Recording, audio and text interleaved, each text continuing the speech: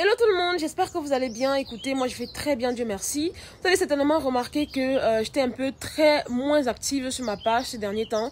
C'est tout simplement parce que je suis venue au pays et là je suis dans mon village.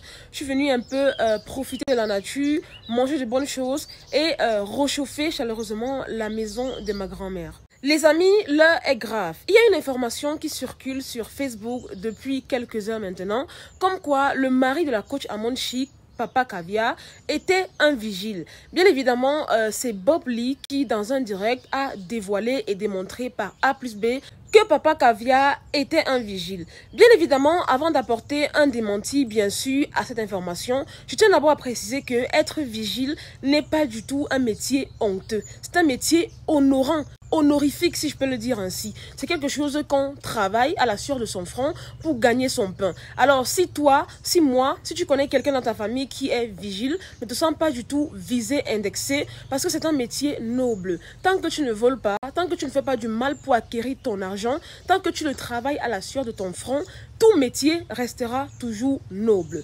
Donc, même si Papa Caviar était vigile, je ne vois même pas en quoi est-ce que ce serait un problème. D'aucuns diront que c'est parce que la coach Amon Chic euh, passe le temps à traiter les autres de Yougos. On a même vu la dernière fois lors de son émission où elle avait traité euh, les chauffeurs de, de, tous les noms d'oiseaux, faisant passer euh, ce métier pour un métier dérisoire, rabaissant et j'en passe. Donc, je pense que Bob Lee a voulu donc rebondir là-dessus en prouvant donc que son mari, Papa Caviar, était également vigile pour simplement et uniquement la rabaisser. Je tiens à préciser ici que Papa Caviar n'est en aucun cas vigile puisqu'il est directeur, dirigeant, propriétaire même d'une société de nettoyage en France qui a été créée depuis 2018. Et la société en question, euh, c'est une société qui s'appelle Wall Service IDF. Et je tiens à préciser que cette société dont Papa Caviar est euh, propriétaire emploie plusieurs personnes en France.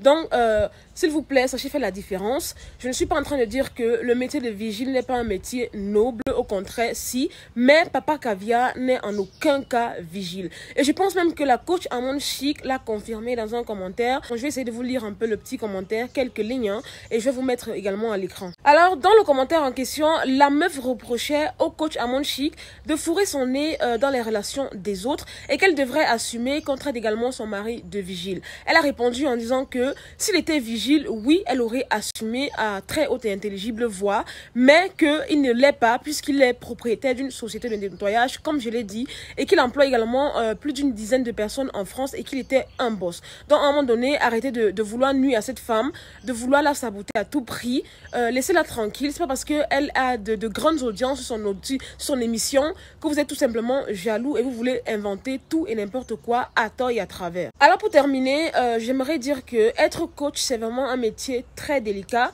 parce qu'à un moment donné, la coach à monde chic est souvent obligée de prendre position, de donner des conseils et de fois, ses choix, ses positions ne font pas toujours l'unanimité. Par exemple, quand elle reçoit un appel pour demander euh, un conseil euh, et qu'elle dit voilà, il est un Yougos, laisse-le chercher un fructueux et des gens que ça blesse en fait. Parce qu'on a l'impression que la coach monde chic fait l'amalgame uniquement euh, de l'argent pour elle.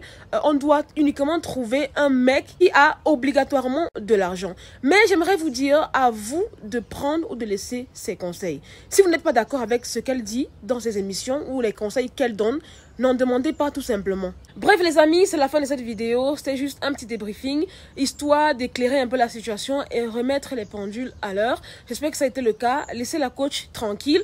Euh, être vigile n'est pas un métier détestable. Et même si c'était le cas, euh, la coach Amon Chic, son mari n'est pas du tout vigile. Au contraire, c'est un entrepreneur. Il est propriétaire d'une grande société en France. Respectez cela et acceptez cela, même si c'est difficile à avaler, je sais. Euh, likez la vidéo si elle vous a plu. Mettez-moi en commentaire vos avis. Partagez-la, ça me fera énormément plaisir. Pour ceux et celles qui désirent entrer en contact avec moi pour des pubs, des partenariats et j'en passe, n'hésitez pas à le faire en me contactant directement en inbox.